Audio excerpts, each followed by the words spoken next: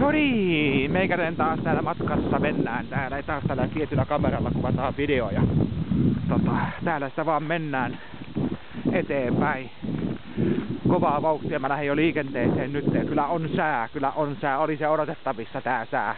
Se oli ennustettavissa, se oli ennustettavissa, että sää on tämmönen, että lumet saa kyytiä ja lämmintä piisaa. Onneksi mä talvitakin pistin päälle, ettei tuu vilulla kannattaa hirveä tuuli.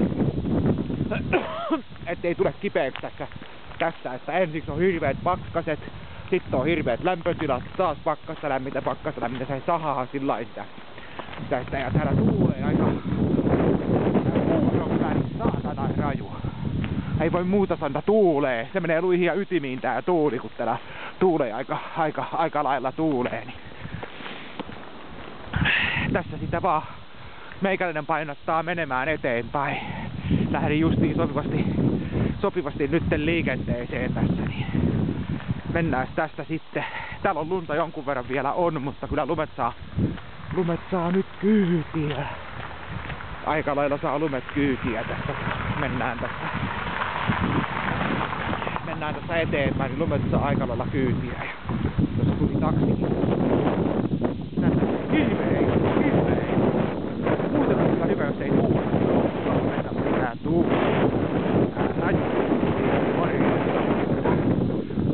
Tuuli, mutta ei haittaa menoa. Meikäläinen menee tässä. Hyvää aamua vaan kaikille. Ja laitetaan tääkin video sitten linjoille, kun, kun mä kerkiän tänään laittaa. Niin.